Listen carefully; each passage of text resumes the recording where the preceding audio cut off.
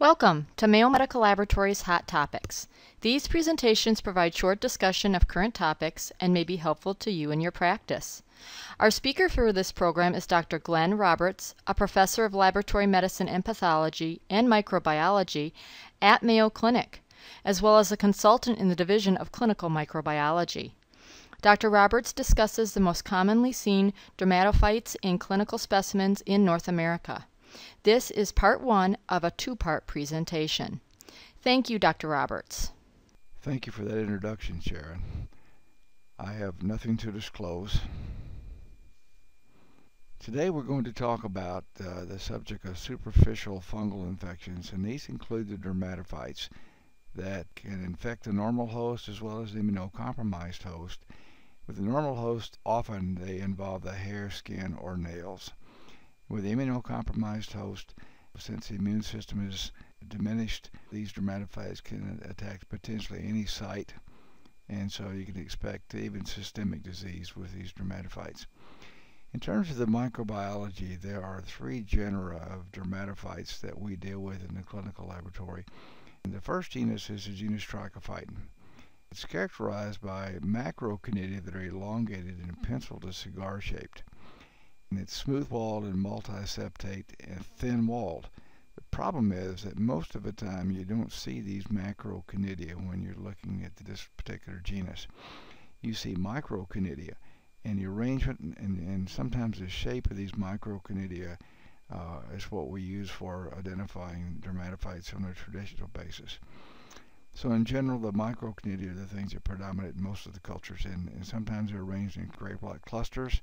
Other times they're lined up along the sides of the hyphae, and then there are times when we just have problems getting them to sporulate at all, and we can't we can't tell what they are.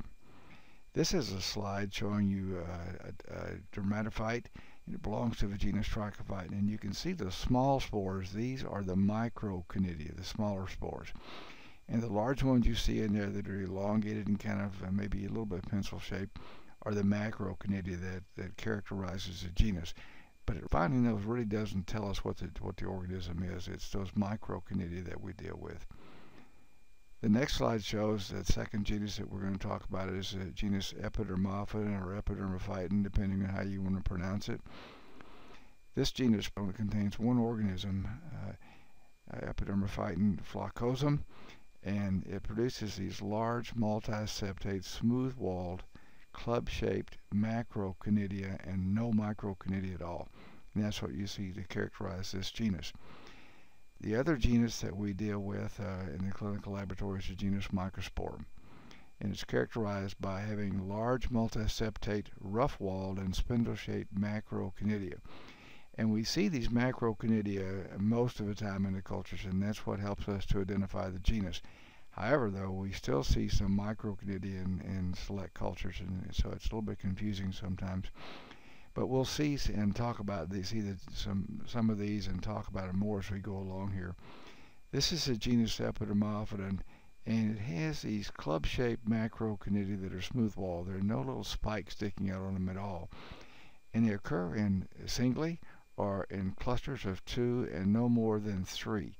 And you can see on here there is a a cluster of three on this one here the top.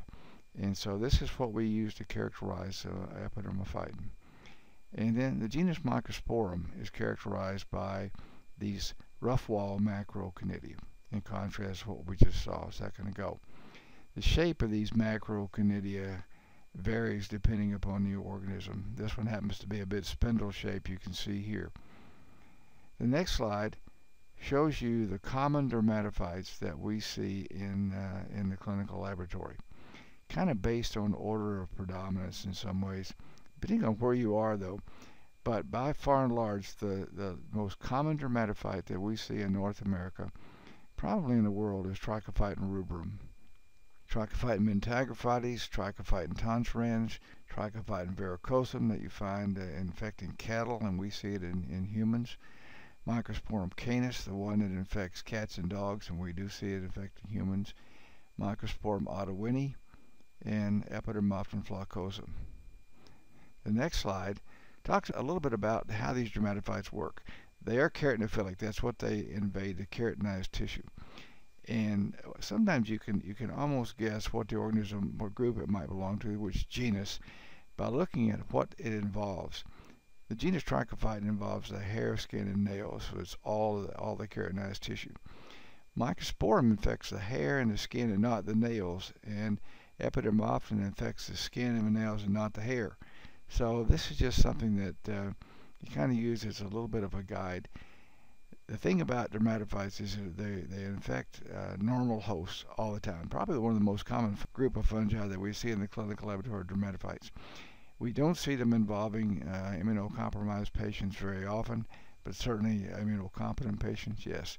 The next slide talks about you can group these dermatophytes in another way if you wish. This slide shows you how they're grouped in the environment. Dermatophytes are three major groups. Geophilics, the ones that are found in the soil, and zoophilic, the ones that infect living animals, including humans, and then anthropophilic, the ones that infect humans, uh, and that's all. And they don't infect any other animal source at all. So three genera, we don't use this characterization very often in the clinical lab. It doesn't have a whole lot of relevance to what we do. The next slide shows you some examples though of these uh, these three groups. The geophilic group, Microsporum gypseum, this is one that's found in the soil, and people like florists and other people who handle soil are the ones who acquire infection by this organism. Zoophilic uh, group contains uh, the organism that infects dogs and cats, Microsporum canis, and this is one that's highly infectious and, in, and infects not only the animals but humans as well. And there have been a number of outbreaks where someone will bring some uh, kittens in to a nursing home or some other place where there's some some folks all gathered together, live together, and uh, you'll find that that pretty soon uh, that whole population, if they've handled that cat or dog, will come down with Microsporum canis infection. Trichophyton mentagrophytes uh, is a zoophilic organism. It, it, infects animals, but it can infect humans as well. And then Trichophyton verrucosum is what I mentioned, it infects cattle. And people who have cattle herds, dairy herds, oftentimes will get the infection from those infected cows. So these are these are examples of these two groups. And then the anthropophilic group, it only infects humans. Really, the three here that, that infect humans exclusively would be Trichophyton rubrum, Trichophyton tonsurans, and Epidermophyton floccosum.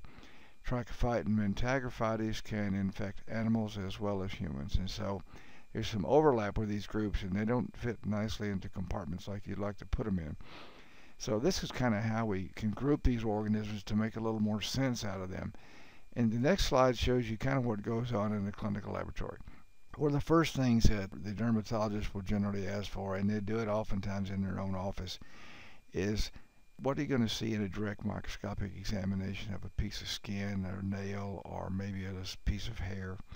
You may find just hyphae that are septate and have no pigment and so they're hyaline. And then you may find some of the hyphae that are breaking down into arthroconidia, those rectangular spores. And that may be what you'll see in a direct microscopic examination. It doesn't tell you for sure that it's a dermatophyte, and it certainly doesn't tell you which one it is. But it suggests that there's a dermatophyte here if it's from one of the samples that we talked about, the hair, skin, or the nails. There, there are other things that can infect those sites, but for by and large, for the most part, the dermatophytes are the ones that we see doing that. The next slide shows you a KOH prep, potassium hydroxide prep, just showing you hyphae in there that have septations. And they, it looks a little brown, uh, just happens to be the way this slide is. But you can see the septate hyphae in there, and that's maybe all that you see. And that's good enough to suggest a dermatophyte. The next slide shows you the same thing, except it shows you the hyphae are kind of inter intertwined amongst the, uh, the epithelial cells that you see there, and it's hard to see if it's septate or not, but they are narrow hyphae. Next slide shows you another classification for things in this group, and that is a classification based on which anatomic site these organisms infect. And this helps a clinician because we often know which dermatophytes involve the hair, the skin, or the nails. Sorry, the hair, skin, or nails, but may involve just the, the feet, may involve the hands, may involve the scalp, the facial area. And we have names for those, those clinical uh, conditions. How we characterize these clinical presentations is by calling them ringworm of whatever happens to be. And tinea pedis means ringworm of the foot. Tinea refers to ringworm. So tinea pedis is the Latin for infection of the feet, primarily involving the soles, the toe webs, and the areas between the fourth and the fifth toes, and that seems to be a characteristic that you see. The next slide shows you a foot with infection between the fourth and fifth toes. And you may not see anything but just some simple scaling of the skin, or you may see an area that's really infected and you see a lot of erythema and a lot of exfoliation of the skin. And then the next slide shows you an extreme case of tinea pedis where this person obviously had been in contact with some water for a long period of time and this dermatophyte invaded the feet and the nails and you can see everything is infected. It would take a long time to treat a patient with that sort of thing. These dermatophytes for the most part are nuisances more than they are uh, anything severe except in a case like this. The next slide shows you another clinical condition called tinea cruris, ringworm of the groin or the perianal area. We know of at least one dermatophyte that causes infection in that area, and the next slide shows you what tinea cruris looks like. This is where the area in the groin, the inguinal area, or the perianal area gets all red and inflamed, and it has a very active border that you can see. On the left-hand side of the slide, you see where the redness stops. That's the active border. And on the right-hand side, you can see the same thing. If you were going to make a KOH preparation from a, a patient who had a dermatophyte infection, whether it's tinea cruris or something else, where you would like to go to get that sample would be at the, the advancing edge of this infection. So you'd be right there where the redness stops. That's where the dermatophyte would start to invade the normal tissue, and that's where you're going to find it. Also, on the right-hand side of the slide, you see there's a satellite lesion sitting over there. It's a typical ringworm lesion. So in reality, if you get right down to it, this is a case of what we call tinea corporis because it means that that it involves more than just the groin and it probably involves some other sites. And if you were to see that patient, you more than likely would see some sites on the smooth skin of the trunk. So tinea cruris does look like what you see there along the, the groin area. The next slide talks about tinea corporis. Tinea corporis is an infection of the smooth skin of the trunk and the extremities and uh, that happens frequently in some patients and is exclusive of the face, the foot, the groin, the hands, or the scalp area. So it's a smooth skin of the trunk and the extremities for sure. That's how it pretty much presents. So these clinical presentations help the clinician because we can sort of link which dermatophytes cause these particular entities, and we'll show you that as we go along here. The next slide shows you a case of tinea corporis. And this lady has lesions that you see on the smooth skin of the trunk, and they're typical ringworm lesions. The one down to the lower right hand side is actually a very typical one. And what happens with these lesions is that as they begin to heal, the center of the lesion shows the first area of healing. And then you see, after a while, little evidence of infection in the center, but you see an advancing border, and you see an area within there that is still there, erythematous, and that's what kind of gives it the ringworm appearance they talk about. The next slide is tinea capitis. This is an infection of the scalp, the eyebrows, and the eyelashes, and it primarily occurs in young children before the age of puberty. Been in the past used to be a real common thing. I don't know how common it is these days. But tinea capitis, though, generally for the most part, refers to infection of the scalp. The next slide shows you a child's scalp and if you look you see that some of the hair's gone off of there that's that's called alopecia and that just means baldness and that may be all that that child may experience is the loss of hair. In some cases the the, the, the lesions may become uh, much more apparent and uh, uh, go down much deeper in the tissue and look much more severe and uh, we have seen cases like that before. Sometimes what happens with the even with, with all the ringworm infections for that matter is they may get secondarily infected infected with something like staph and you get folliculitis where the hair follicles are and they'll they'll get terribly infected with uh, with something that you have to treat with antibiotics. The next slide is a term that is used as a kind of a general term. It's called onychomycosis. and it kind of means the infection of the nails and the surrounding tissue, the paronychia of the nails. And in these cases, things other than dermatophytes can cause onychomycosis. Uh, things like Aspergillus, fusarium, and other things that we see in the clinical laboratory besides dermatophytes can actually be involved in causing onychomycosis. So this is where we branched out just a little bit more. The next slide shows you a case of onychomycosis where all these nails are involved.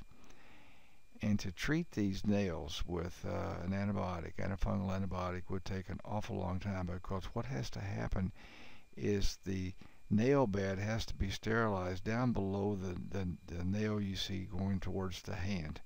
Has to be sterilized and as it grows a new nail grows out sterile the old nail has to be clipped off. And a lot of times what the dermatologist may do is just to avulse these nails and take them right off and then start treating with an antifungal agent and sterilize the nail bed so that when the, the new nails grow back out, they're sterile. The next slide shows you another ringworm, Tinea pedis.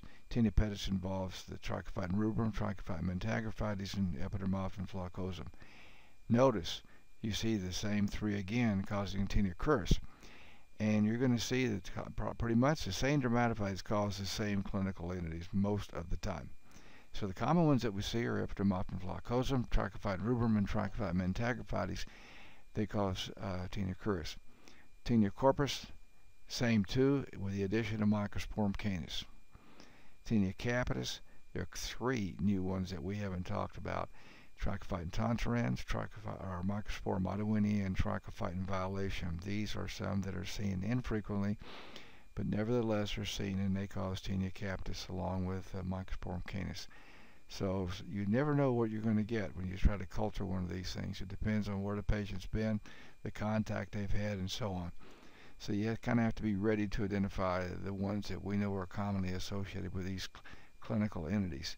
The next slide shows you a schematic of how to identify these dermatophytes, at least one.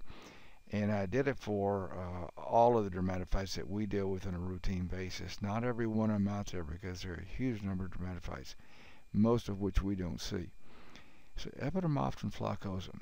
If you look at a culture, generally it's a culture that you're going to have on Mycosel agar or cornmeal agar. Cornmeal are used in the clinical laboratory. We call it white cornmeal agar is very good for allowing sporulation of these dermatophytes. Mycosel agar is nothing more than Sabouraud agar with chloramphenicol and, and cycloheximide in it, and it allows these dermatophytes to grow in primary recovery. And so it's a good primary recovery medium for dermatophytes. Then if you want to subculture to cornmeal agar, then you begin to see the sporulation. And what you're going to see with Epidermophyton floccosum is these large smooth-walled, club-shaped macroconidia that we saw a while ago that are, are, occur singly or in clusters of no more than two or three. And the colony is described in all the literature as khaki colored. It's kind of a yellow-green color. And in the center of the colonies, most of the time, you're going to see a white area, and that's called an area of pleomorphism. That means that what's happened to this culture is as it grows, the center part of it becomes sterile. And if you try to subculture that center part for a culture for laboratory work or something, you're going to end up with nothing more than just white sterile hyphae.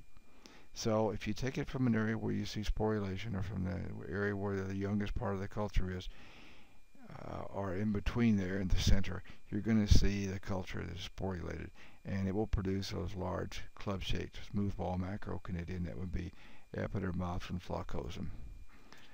The next slide just talks about what you might see.